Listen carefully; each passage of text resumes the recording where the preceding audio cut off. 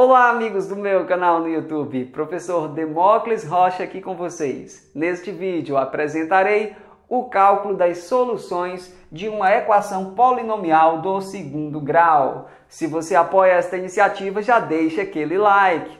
Quer ficar sabendo sempre que a gente lançar um novo vídeo? Você já sabe, inscreva-se no canal. Faça mais o que? Acione o sininho das notificações. Vamos lá!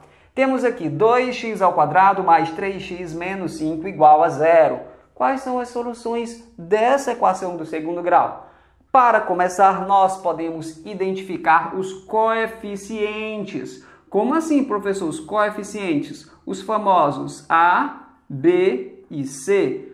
Professor, eu não sei fazer, professor. Eu não sei nem identificar os coeficientes. Pois é muito fácil, observe.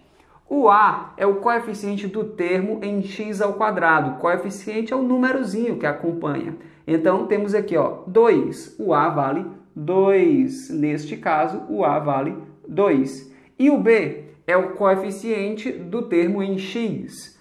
Quem é que está do lado do x aqui? Ó? Temos aqui 3. Então, o B vale 3. E o C é o termo independente de x. Ele vale, neste caso, menos 5. Professor, até aí eu já estou achando fácil. Identificar o A, o B e o C é muito simples. Que bom que você achou. A gente sempre pode começar fazendo isso. O próximo passo é calcular o famoso delta, o discriminante. Professor, e como é que é a fórmula desse tal de delta? É assim, ó, b ao quadrado menos 4 vezes a vezes c. Professor, tenho que saber isso de cor? Só se você quiser resolver a equação de segundo grau. Essa é a maneira mais comum de resolver. É determinar o A, o B e o C, calcular o discriminante e em seguida temos só mais alguns passos. Ok, professor, tenho que saber de cor, né? Exatamente. Vamos lá. Para continuar, vamos calcular o valor do delta. Qual que é o valor do B? O B vale 3. Então aqui eu vou escrever 3 ao quadrado. Entendi, professor. Em vez de b ao quadrado, como b vale 3, tu escreveu 3 ao quadrado. Exatamente. Esse menos 4 é da fórmula, tá? Ele sempre está presente. Ele aparece aqui multiplicando, ok? Qual é o valor do A? 2. Então, ficaremos aqui com 4 vezes 2. E o valor do C? O C vale menos 5. Então, vou escrever aqui menos 5, ó, mas eu tenho que ter o cuidado de colocar parênteses. Eu não deixo o pontinho de vezes misturado com o sinal de menos. Agora é só calcular o valor dessa expressão numérica para conhecer o valor do delta. Vamos lá! A gente começa calculando a potência, né? 3 ao quadrado é igual a 9, eu escrevo bem aqui. E em seguida vamos fazer uma série de multiplicações. Por exemplo, menos 4 vezes 2 é igual a menos 8, você já sabe. Vou repetir aqui o restante. Para seguir em frente, professor, eu posso fazer 9 menos 8? Não pode não, a prioridade é da multiplicação. E o 9, professor, eu vou apenas repetir. A conta que eu vou fazer é essa multiplicação aqui, ó. Quanto que dá menos 8 vezes menos 5? Professor, na multiplicação, sinais iguais, resultado positivo. E 8 vezes 5 dá 40. Então, ficamos aqui com 9 mais 40. Qual será o valor do delta? Professor, 9 mais 40 é o mesmo que 40 mais 9, isto é, 49. Exatamente, então já determinamos o valor do delta.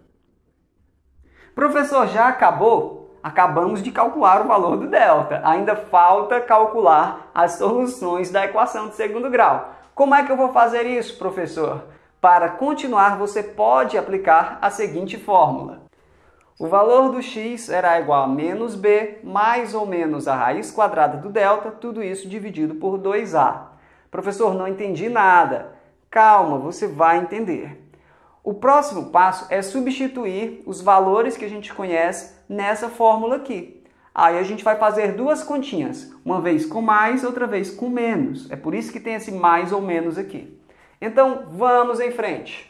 Menos B. Nessa parte, você pode pensar assim, é o oposto do valor do B. Qual é o valor do B? É 3. O oposto de 3 é menos 3. Uma vez eu farei a conta com mais, outra vez com menos. Em seguida, temos a raiz quadrada do delta. O delta vale 49. Qual é a raiz quadrada de 49?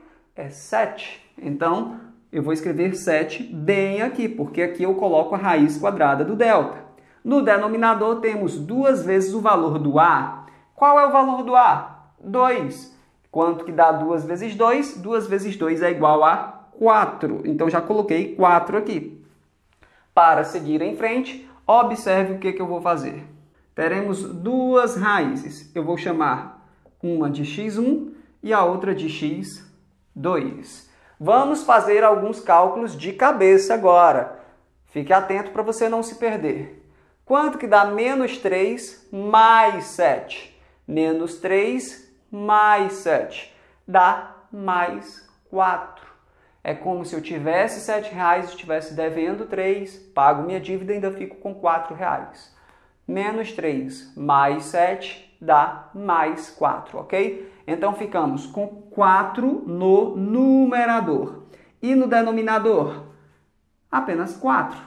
Quanto que dá 4 dividido por 4 dá 1. Esta é a nossa primeira raiz, é o número 1. E a segunda raiz? Aí eu vou fazer a conta com o sinalzinho de menos agora. Menos 3, menos 7. Quanto que dá? Menos 3, menos 7 dá menos 10. É como se eu estivesse devendo 3 reais, estivesse devendo 7 reais, no total estou devendo 10 reais. Então, ficamos aqui no numerador agora com menos 10. E no denominador, apenas 4 mesmo. Esse sinal de menos ele pode vir para frente da fração neste caso. Então, esse menos aqui eu vou colocar na frente da fração. E eu posso simplificar. O 10 e o 4, ambos são divisíveis por 2. 10 dividido por 2 dá igual a 5 e 4 dividido por 2 é igual a 2. Professor, eu sou obrigado a simplificar? Não, mas é bom saber, né?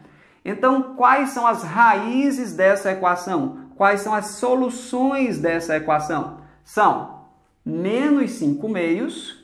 E qual é a outra? A outra é o número 1. Então, o conjunto solução desta equação do segundo grau é formado por menos 5 meios e 1.